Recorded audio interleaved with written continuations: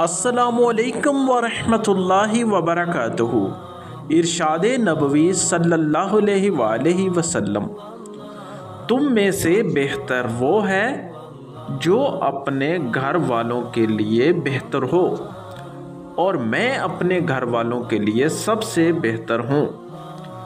और जब तुम में से कोई मर जाए तो उसे खैर बात कह दो। इसका क्या मतलब है?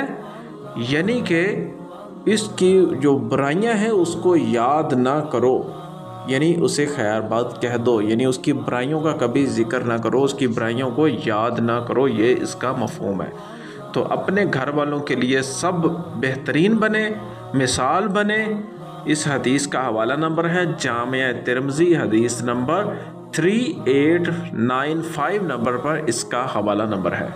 अल्लाह से दुआ है अल्लाह ताला हम सबको अपने घर वालों के लिए बेहतर बनाए। आमीन। सब लोग कमेंट्स में आमीन ज़रूर कहें। अस्सलाम